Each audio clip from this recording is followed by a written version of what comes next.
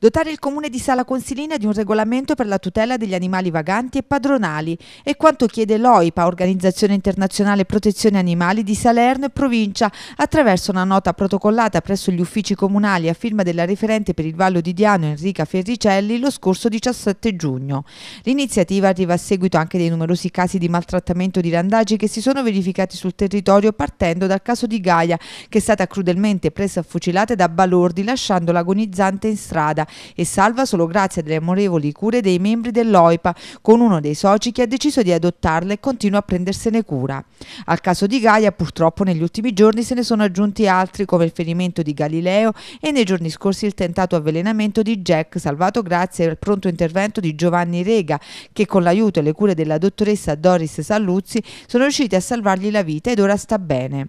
Non sono solo i casi di violenza sugli animali però a spingere l'OIPA a chiedere l'adozione di un regolamento comunale. Infatti Enrica Ferricelli e Maria Antonietta Di Gregorio chiedono che il comune di Sala Consilina si adegui alla legge regionale approvata lo scorso aprile su disposizioni volte a promuovere e a tutelare il rispetto il benessere degli animali d'affezione e a prevenire il randaggismo, anche per ciò che riguarda appunto il comportamento da tenere da parte dei cittadini padroni di animali d'affezione. A quasi un anno dall'apertura del della sede OIPA Sala Consilina scrivono riceviamo di continuo segnalazioni e richieste di aiuto e nonostante ci siamo attivate da subito con adozioni e con provviste di alimenti, medicinali ed altro, sappiamo che non possiamo colmare da sole una problematica di così grandi dimensioni e che riguarda l'intera comunità, oggigiorno sempre più preoccupata delle sorti dei poveri randaggi lasciati in balia di scellerati. È giunto il momento, continuano, che comune, ASL e associazioni si uniscano per mettere un freno all'ignoranza, all'incuria e al menefreghismo